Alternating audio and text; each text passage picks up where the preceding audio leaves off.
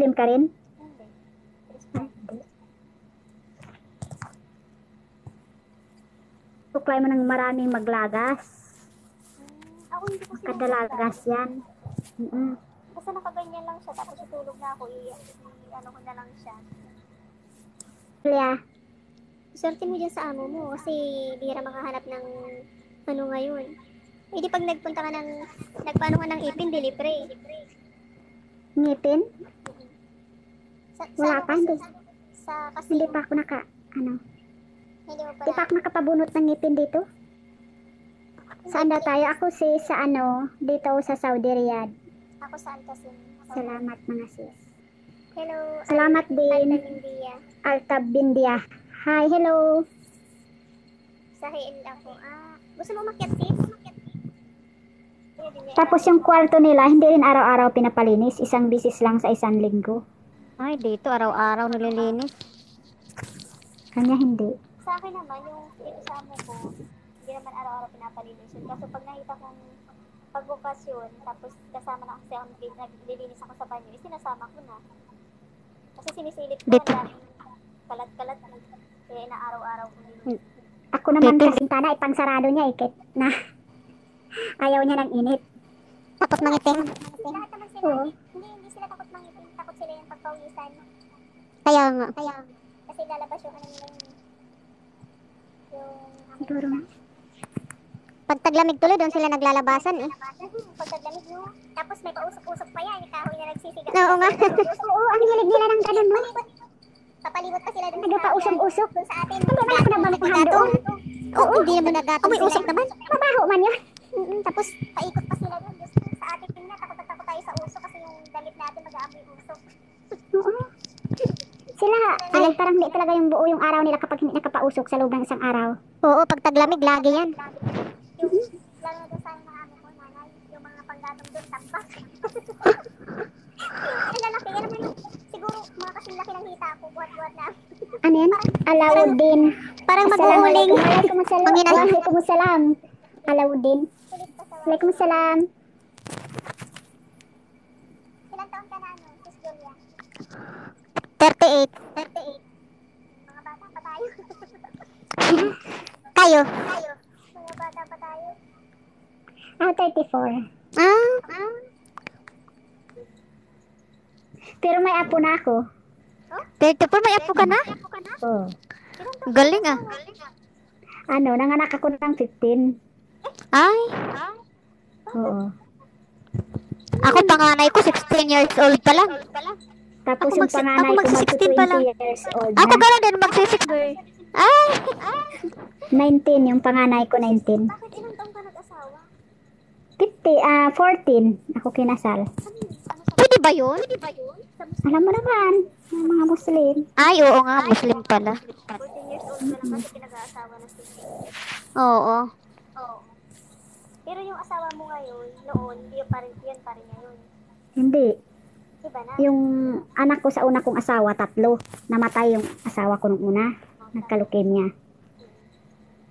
Hmm. Tapos ngayon, may asawa ka. Tapos, yung anak mo. Nagka-asawa ako ngayon, Kristiyano. Pwede ba yun? Oo, Ay, hindi na Muslim. Buti pwede. Ba Islam siya, sis? pwede naman. Oo. Nagpag-Islam siya. O kasi sis, dapat talaga Muslim din. Pag pangalawa kahit Christian. Hmm. Galing. Pero ino, 14 years old pa lang. Tapos, nirigla ka na nun ng ano.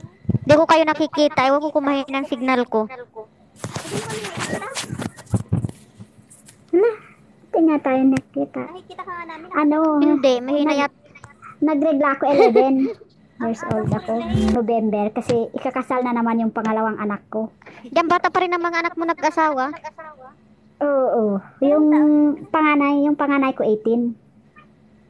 Kinasal siya ng 18. Ang edad. Sa bagay kasi mga Muslim, ganun. Buti-buti pa nga yung panganay ko 18. Pero ano yun sis, yung, yung anak mo, ano yun? Parent, anong tawag yun? Arranged marriage ba yun? Yung panganay ko, asawa niya, Kristiyano rin, boyfriend niya, nabuntis. Ah, Oo. yun sa pangalawa. Ilonggo. Yung pangalawa yun. Nagpaabot talaga yun. Arranged parents. Yun. Eh di malaki. 15 pa Ano yun? ikakasal. Yung anak mo, lalaki. 15. Babae. Yung pangalawa. Eh di may yung ano ka, pangalawa, ano tawag babae pa rin. Isa lang yung anak kong lalaki. Dore? Hindi may ano ka, ano ba? Oh, Dore. Dore. Mm-mm. Oo. Kaya lakas loob ako mag-uwi, kaya wala pa akong ipon. Magkano daw, mag, magkano naman sis? Baka, Kailangan kong mag-uwi. ha, bakit? Pag, pag lalaki ang nakabuntis, anong ano niya sa inyo? Ay, siyempre sa amin, pag lalaki ang nakabuntis, hindi yan pwedeng una muna mga anak bago ikasal. Bawal yan. Alam niya rin eh. Eh, paano yun yung sa anak mo na panganay, hindi Muslim yung ano? Wala naman silang ano, parang kaparusahan. Wala din. Ano, nag, kunting ano lang din, basta't makasal, 15,000, Hmm. isang baka, tapos isang sakong bigas, yun lang. Yung iba niya nagbibigay pa ng lupa. Tapos pag, pagkatapos nun, pagdating ko, gutom na gutom na kami ma, sabi ng mga bata. Laga ako kamuting kahoy. Sabi, anong Aha. ulam? Sabi ko, ito na lang, wala, wala rin asukal. Oho. Asin na lang na, sabi ko. Ano ang kapapanganak sis? Dalawang linggo pa lang. Ay, grabing dasal-dasal ko maghapon ng kamuting kahoy. Sabi ko, Diyos ko, sabi ko. Huwag niyo muna akong kunin, kailangan pa ako ng mga anak ko. Sabi ko na lang. Hindi ba? Hindi ka pa pwedeng maglalabas talaga? Kaya nga, mahanginan ka, di ba? Ano ko, kakahoy, eh, panggatong namin kahoy. Sa kabilang, di- yung dito ko kahoy, sa kabila sa Puti ano siya, malakas ang loob niya. Malakas ang resistensya din niya. Malakas ang loob niya kasi nga, di ba, ganyan, mga 2 weeks pa lang, dapat nasa bahay ka lang. Nakahiga lang yan. Ako, apay-higa pa lang. Pagkatapos nakain, nagsikain na yung mga bata ng kamuting kahoy. Huwag ka naman malungkot. Masarap din. Sabi nila, tulo na naman yung luha ko. Tapos ang ginawa ko, may kaibigan din ako na, eh wala naman siyang tinda kasing bigas. Ang sa kanya mga harina. Nangutang ako ng harina, nagawa ako full buron. Yema, ginapang iwan ko sa mga tinda-tindahan, nag-ipon ako. Hanggang sa nakaipon ako. Pamas pagka dalawang buwan na, pwede nang ibiyahe yung baby ko. Nag-uwi na kami sa bahay ng nanay ko. Doon na kami. Tapos, wala pa. Umabot pa ng 2 years bago siya nag- nakauwi. Tapos ako nagtrabaho na ako. Nagkasakit kasi yung bunso ko. Na hospital yun. Ay hindi pwede ipadidi sa akin, sabi ng doktor. Eh, kailangan ko pambiling gatas. Nagtrabaho ako. Si ate ang nag-aalaga. Pagka 2 years, umuwi yung asawa ko. Isama niya raw kami sa Malaysia. Ayaw ni ate, hindi hindi upayag yung ate ko. Kasi, ay gusto kasi ng asawa ko dalhin yung anak namin na bunso. Yung pananay at pangalawang iwan. kahit may lupilya na siya nun sis, nakapag-Malaysia pa siya. Oo. Pero putla, putla na rin yun siya. Buti hindi na ako sa, sa, ano, sa medical. Ano lang siya lang man kami, hindi kami nag-aeroplano. Wala kaming passport, pare-pareho. Hmm. Pagkatapos, yun, nasa Malaysia kami. Inaaway niya ako. Mainit din yung ulo niya. Pinagtapon niya yung damit ko. Hala, lakad kami ng bunso ko sa loob ng ulan. Di ko alam saan ako pupunta. Yung maalauna ng gabi, yung mga tao pag may nakasalubong sa akin, takbuhan sila. Nadampot ko ng Pilipino rin. Parang yung napanood mo sa mga horror, di? Tapos, umuwi na kami ng ano, umu- umuwi na kami ng Pilipinas ulit. Nagkakasakit na naman talaga siya. Yun na, halos buwan-buwan na kayo sa ospital. Tapos nung nagaling-galing na siya, sabi ng nanay ko, ibalik mo na yan sa magul ibalik mo na yan sa magulang niya. yung asawa mo. Sabi niya, ikaw dito ka na rin sa amin. Hindi mo na yan kayang buhayin sila. Di, parang, ano, parang naano ko, nahalason yung utak ko sa sinabi ng nanay ko. Oo na, gano'n na nga yung... O di, binalik ko sa magulang niya. Nag, ano, pinag, pinapaghiwalay kami. Tapos, nung nagpirmahan na kami sa barangay, ano, sabi ko patawarin mo ko. Iyak siya, niyakap niya ako. Hanggang sa malayo siya, nakatanaw pa rin siya sa akin. Ako ganun din, iyakan kami dalawa. Sabi niya, kung pwede lang, sabi niya, Ate, hilahin kita. Ken, baka, baka mag-guest si Kaisar. Ano yan? Ano yan? Hayaan mo siya yan. Nagpipintuan ka. Kaysa yun. Stop to. Hayaan mo siya yan. Mag-English-English lang siya yan. Isa pa siya. Pwede Ganda ka naman yung pinipayda eh. Ay, ay, eh, ako, ako ibababa kung siya ay, ano, Tapos, Tapos- ko sa ano, sa tama, yung mga ibang lahi, tama. Hmm. Tapos yun, pagka, ano, na, nandun na siya sa kanila, doon na sa, sa amin, tawag siya. Sabi niya, tatakas tayo.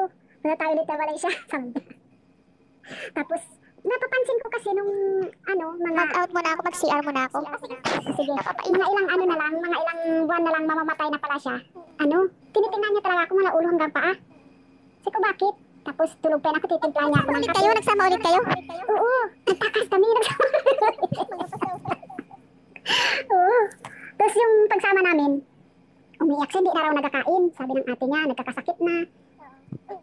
Kaya tubig daw, hindi nagainom. Kasi tapos nagkakramp pa naman yung braso niya. Yung parang nagaano yung buto niya dito, nagalihis minsan. Ako lang pa naman ang nakakabalik nun. Sabi niya, paano na lang, sabi niya, pag magkram yung braso ko, wala ka na sa tabi ko. Parang ayaw ko na, sabi niya, buhay pag wala ka. Sabi ko, sige, sabi ko, takas ako. Balik ako dyan, sabi ko. Kasi may ano naman, kasi may agreement. Sa loob ng 3 months, kapag hindi kayo nagbalikan, tuluyan na nga pala kayong maghiwalay. Tumakas ako sa bahay. sabi ko, dahil magtrabaho muna ako. Ginat, ano, hanta, ginabantayan tayo ni nanay ko anong damit ang dadalhin ko. Ba't may dala kang pajama kung pupunta ka ng city para magtrabaho? Sabi ko, sige na nga, hindi na mag ilang piraso lang dala kong damit, puro pantalon pa. Tapos binigyan ako na, ito budget mo. Hindi ako nagtrabaho. Nagdiretso ako sa kanya. Tapos yun naman nung kasama mo na siya, ano, kasama mo na siya doon na siya, doon na siya namatay.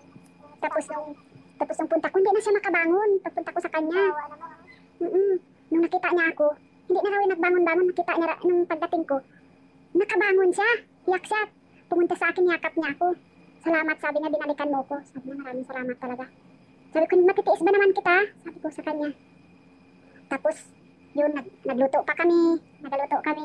Tinutulungan niya ako, nagkain pa kami, mga hapon. Mga isang linggo na lang kami nagsama.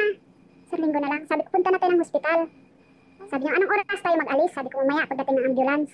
Pa, papunta na rin daw yung ambulance, sabi, sabi ko sa kanya. Sige, sabi niya, iabot mo nga yung pantalon ko, sabi niya, magsuot mo na ako pantalon. Tapos eksakto, pagdating ng ambulance, pat, na ano siya, pagdating nakatingin na lang sa akin. Sabi ko, bakit, anong masakit sa'yo? Sabi niya, wala. Hawakan mo yung kamay ko, sabi niya, huwag ka mag-alis sa tabi ko. Tapos, tapos pag hawak ko ng kamay, sabi niya, sandali lang ha, sayang pahinga mo na ako. Habang wala pa yung ambulance, matulog mo na ako. Natuluyan, hindi na siya talaga nakagising. Kala ko matutulog ka na. No problem. O ngayon, di yung pagod mo, ma, ay yung hirap na dinanas mo, masusuklian na dahil sa mga anak mo. Hmm, medyo hindi na rin naman tulad ng dati. Tapos nung nawala na siya, ang tagal ko nakamove on. Nagamukmuk ako. Ilang taon Tapos, isang taon din ako nagmukmuk. Hmm. Tapos nag-asawa ka na? Tapos, pagkatapos, nat natigil yung pagmumukmuk ko. Napaniginitan ko yung mukha ng asawa ko na yan. Hindi ko man yan siya nakita pa. Hindi ko man yan siya kakilala talaga. Pagka umaga, sabi ko, man, nak- nakapanaginip ba ako ng lalaki daw na galapit papunta sa akin?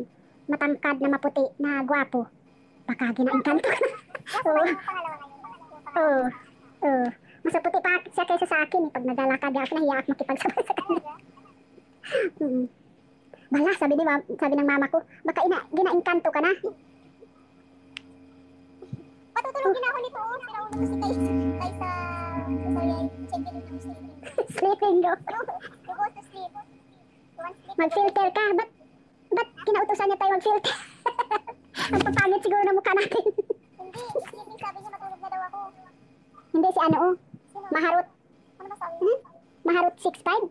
Mag-filter. Nagsasawa siya magtingin sa pagbumukha natin. How are you? I'm good. Ayoko mag-filter. Pasaway ka ha.